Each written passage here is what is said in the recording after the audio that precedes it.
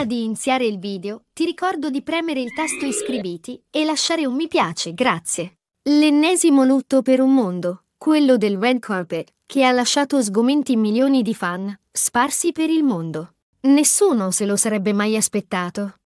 Eppure la morte, il più delle volte, non da preavviso, stroncando esistenze in un modo brutale e lasciando un dolore immane in coloro che hanno amato il proprio caro e che non riescono ad accettare una simile tragedia.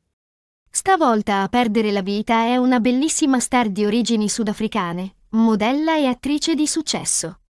Si tratta di Chao Bai Dean, 32 anni e la notizia del decesso che ha lasciato sotto shock i fan è stata lanciata dal Deadline, chiarendo che la star si è spenta a New York per un malore improvviso.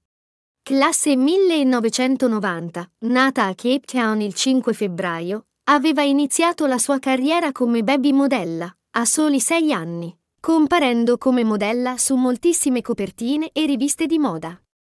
Il suo approdo nel mondo del cinema è arrivato anni dopo, come protagonista dei film sudafricani Spad e del suo sequel, nel 2013, Spad 2, oltre che in Death Race 3.